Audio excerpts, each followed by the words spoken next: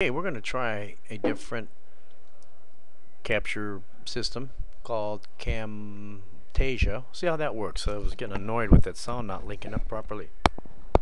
We'll pick up where we left off with Ring 2 Part B. Now we have the ring hollowed out, and a lot of you may say, that's great, it's hollowed out. But with my mill, I can't cut out like that. I'm not. We could grow it. You could send it to a grower, and they could do the hollow part, but you can't do it on your mill. I'm going to show you how you can mill this ring on 3-axis mill complete with the hollowed out section. Let's go to our front viewport, double click it, expand it out to the full screen size. Let's make two circles. Now these are our tabs. We're going to make the tabs extrude, copy, and lock.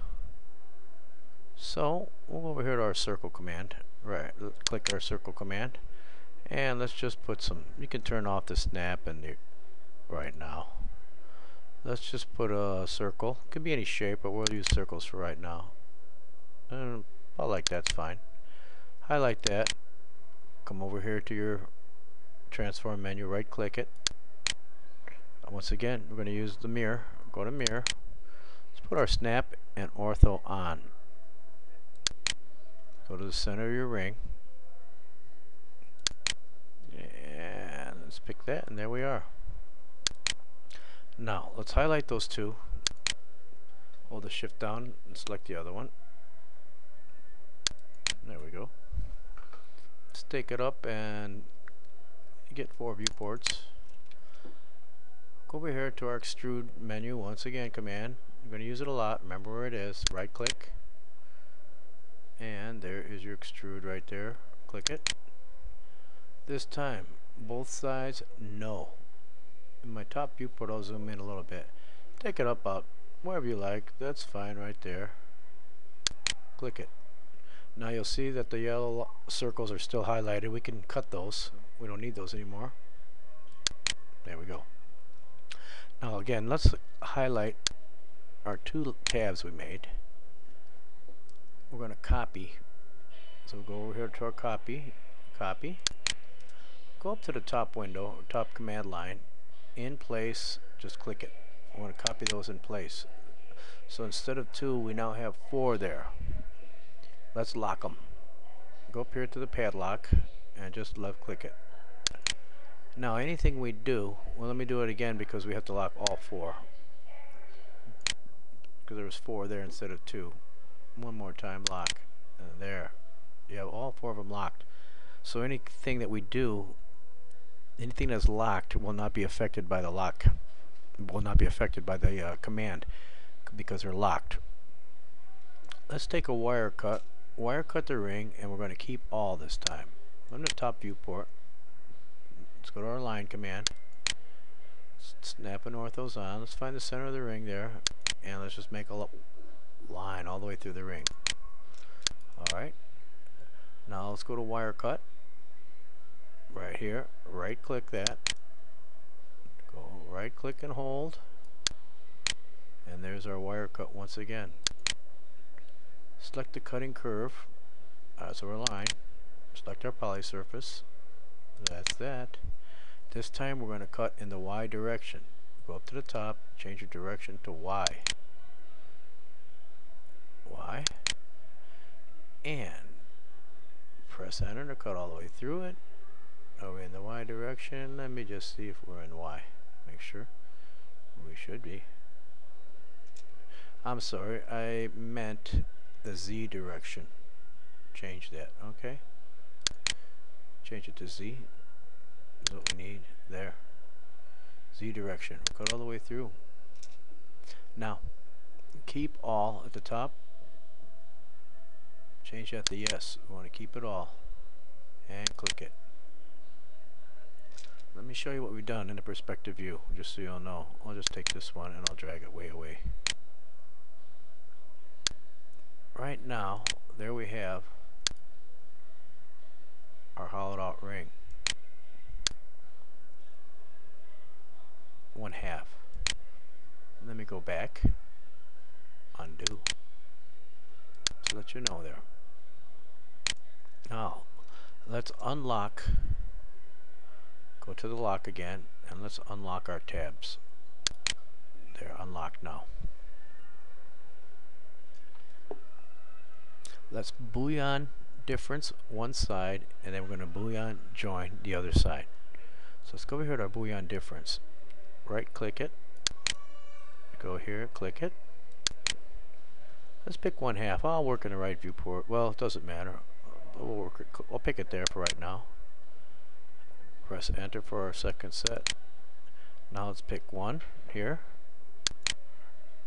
One poly surface there. And let's pick the other one over here. Poly surface.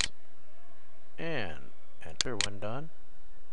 Now let's see what we've done here.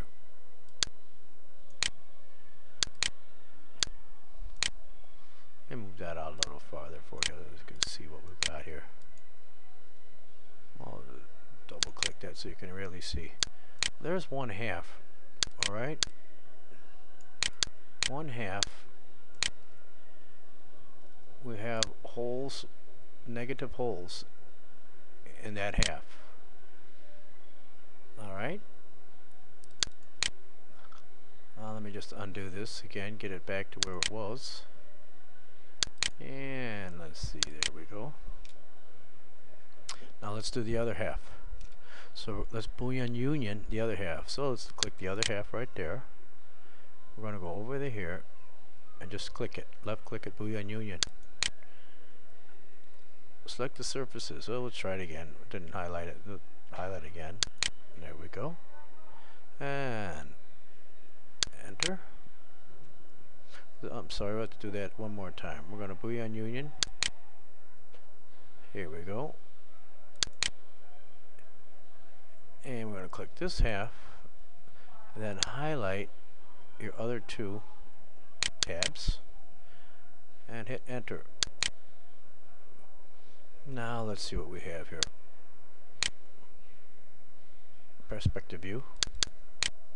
Just to show you what we've created. We have two locking tabs and two negative holes for them to fit into. Go back to get out of perspective and let me undo. There we go. Now, in the right viewport, highlight the whole ring, come over here to rotate. Pick your center of your ring again, snap an ortho on, and rotate it one time here, like that. Very good. Now, in the front viewport, let's just pick our top half, our top half of the ring, and let's flip it over with our rotate once again. Rotate 2D. This time pick your spot right there. Drag it out, ortho, and let's flip it over just like that. And there we have it. Now, let's move it over just a little bit with our arrow keys. Alright. And go up to our front viewport. Double click that. And let me turn the grid off. right click. And I'll just go here to grid grid options. We'll just turn the grid off right now. Select OK. I'll go to my perspective, blow it up there. There you have your ring split in half. All you'd have to do is add your tabs for milling, support structure tabs, mill it out, then super glue the two halves together and you can the ring would be finished or you can then do it if you have a fourth axis machine you can do a complete outer rotary keep that in mind. Apply it when you need it. Let's go on from here to our next ring